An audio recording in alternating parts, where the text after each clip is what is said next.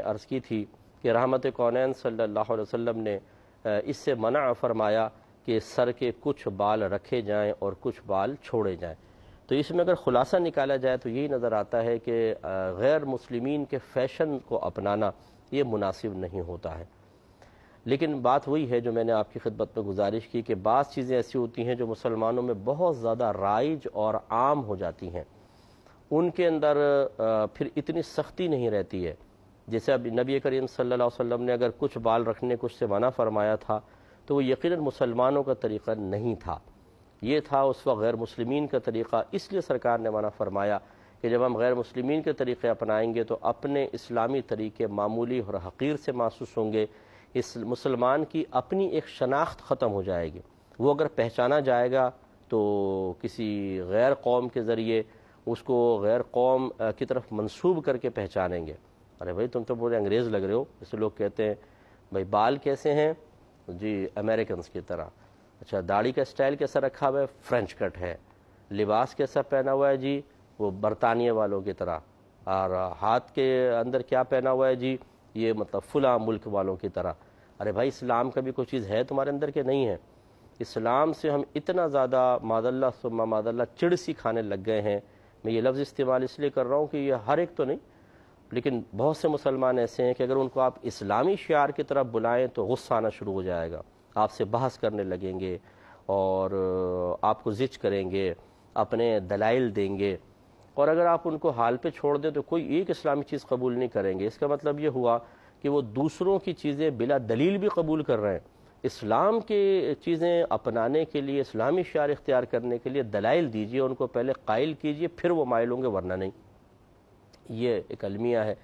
تو چنانچہ کہنے کا مطلب یہ ہے کہ اب جو ہمارے مسلمان مردوں کے اندر خاص طور پر مختلف قسم کے سٹائل چل رہے ہیں، آپ یہ دیکھیں۔ اسلامی سٹائل تو دو ہیں بڑے سٹائل۔ ایک تو یہ ہے کہ بیچ میں مانگ بالکل نہ نکالی جائے، اس طرح پورے بال رکھے جائیں اور پیچھے سے بال کو اس طرح کٹوا لیا جائے۔ یہ سٹائل ہے۔ یا بیچ کی مانگ نکالنا میرے آقا صلی اللہ علیہ وسلم کی سنت کریمہ ہے۔ اور زلفے رکھنا بھی سرکار کی سنت ہے۔ لیکن اگر کوئی یہ نہیں رکھتا ہے اور اس طرح کا کوئی اسٹائل اپناتا ہے جو کسی غیر قوم کے ساتھ مخصوص نہیں ہے، مسلمانوں میں رائے جیسے فوجی کٹ ہمارے یہاں ہوتا ہے، چھوٹے بال کرنا، اس طرح کے، جو عام طور پر لوگوں میں رائج ہیں، اس کی کوئی ممانت نہیں ہوگی۔ ہاں اس قسم کے بالکل اسٹائل اپنانا جو غیر قوموں سے منتقل ہو کر آئے ہوں اور انسان ان کو اختیار کر کے سب سے منفرد سا نظر آتا ہے، یہ پھر آتا ہے فیشن کے اندر۔ اس کا مطلب ہے کہ یہ عام رواج نہیں ہے بلکہ اب یہ مخصوص کسی قوم کا اپنے طریقہ اپنایا ہوا ہے جو مسلمانوں میں بھی عام نہیں ہوا۔ اس سے وہ ہمارے بھائی بہن ذرا درس حاصل کریں جو باہر سے کسی بھی ایک اسٹائل کو دیکھتے ہیں اور فوری طور پہ اس کو اپنانے کی کوشش کرتے ہیں۔ یہ غلط ہوتا ہے۔ اپنے آپ مذہب کا اسٹائل اپنائیں۔ یہ سب سے بیسٹ ہے۔ یا کم از کم جو مسلمانوں میں عام طور پر رائے جو ہمارے یہاں یہاں پہ جب ورلڈ کپ کوئی فٹ بال کا ہوتا ہے تو وہ خاص طور پر کھلاڑیوں کو بھی پتہ ہے کہ پورا ورلڈ ہمیں دیکھ رہا ہے تو وہ مختلف قسم کے ہیئر اسٹائل بناتے ہیں، مختلف قسم کی چیزیں اپناتے ہیں۔ اور ہم وہ مسلمان جن کے پاس زندگی گزارنے کا ہر ہر طریقہ مذہب کی طرف سے دیا ہوا ہے، جو میں چیلنج کرتا ہوں کہ کسی بھی دنیا کے مذہب کو آپ اٹھا لیں اتنی کامل ترین اور وسیع تعلیمات کسی کی بھی نہیں ہے لیکن ہمارے احساس کمتری کا کیا کیا جائے کہ ہم اسی مذہب کو جو کامل ترین ہے اسے ماد اللہ سما ماد اللہ عمل کے اعتبار سے اپنے لیے شاید ناقص یا کم سمجھتے ہیں، وہ طریقے اپنا لیتے ہیں۔ لیکن یہ چیز غیر مناسب ہے۔ گویا کہ نبی کریم صلی اللہ علیہ وسلم نے اس طرح کے فیشنوں کو اختیار کرنے سے منع کیا کہ جس میں انسان کو دیکھ کر انتقال ذہن غیر مسلم قوموں کی طرف ہو، مسلمانوں کی طرف نہ رہے۔ اس لیے میں کہتا ہوں کہ جو اسٹائل لو، ہمارے مسلمانوں میں عام ہو چکے ہیں، ان کو دیکھ کر کسی کا ذہن اس طرف نہیں جائے گا، اگرچہ وہ پہلے کہیں ادھر سے آیا ہو۔ اس لیے کوشش یہ کرنی چاہیے کہ اس طرح کے اسٹائل نہ اپنائے جائیں، احتیاط کی جائے۔ اب یہ کہ بہرحال ہمارے اسکولز کے اندر، خصوصاً جہاں انگلش انگلش اسکولز ہیں، بچے وہاں پر جاتے ہیں اور مختلف قسم کے اسٹائل اپناتے ہیں، ٹیچرز بھی بیچارے مجبور، محض ہوتے ہیں۔ وہ انہیں منع نہیں کر سکتے، منع کرے تو ان کے پیرنٹس آ جاتے ہیں کہ یہ آپ کیوں منع کر رہے ہیں؟ ہمارے بچے کا مرضی وہ کیسا بھی کرے۔ تو اس وجہ سے ہمارے ہاں دو طرح کا طبقہ ہو گیا ہے۔ ایک وہ ہے جو مذہب کی مخالفت کرنے میں فخر محسوس کرتا ہے اور وہ مذہب سے ہٹ کر اپنے آپ کو ایک منفرد اسٹائل میں ڈھال کر اپنے لیے انفرادیت کے پہلو تلاش کرتا رہتا ہے اور اسے اسی میں عجیب لگتا ہے کہ میں عام لوگوں سے بلند و بالا ہوں، اس کو منفرد ہونے کا احساس عام لوگوں سے بلند ہونے کا احساس جو ہے، اسے ان چیزوں پر مجبور کرتا ہے۔ اور اگر کوئی اس کے خلاف بولنے لگے تو ان کو مطلب دل تنگ ہوتا ہے، برا محسوس ہوتا ہے، ناپسندیدگی محسوس ہوتی ہے، وہ اس پہ بحث کرتے ہیں، دلائل دینے کی کوشش کرتے ہیں۔ اور ایک طبقہ ایسا ہوتا ہے جو اس کے جسٹ اپوزٹ ہے، کہ جو اپنے مذہب کو فوقیت دیتا ہے۔ ان کا بالکل سراپا مذہب کے مطابق ہوتا ہے۔ اور ایک بہت بڑا طبقہ ہے جو ان کے بین بین ہے۔ کچھ مذہب کا لے لو کچھ ادھر کا لے لو۔ یہ زیادہ تر لوگ یہ اس طرح کے ہمارے مسلمان بھائی بہن ہیں۔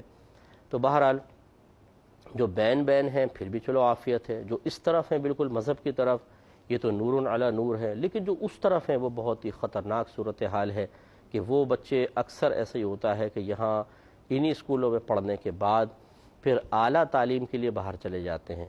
تو جو اپنے ملک میں رہتے ہوئے ہزار ہا مذہبی مثالوں کو اپنے سامنے دیکھتے ہوئے بھی مذہب کی پابندی سے بظاہر بیزار سا نظر آتا ہے، وہ جب باہر جائے گا تو آپ خود سوچئے کہ کتنی تیزی کے ساتھ نفس و شیطان اس کو اپنے شکنجے میں پکڑیں گے۔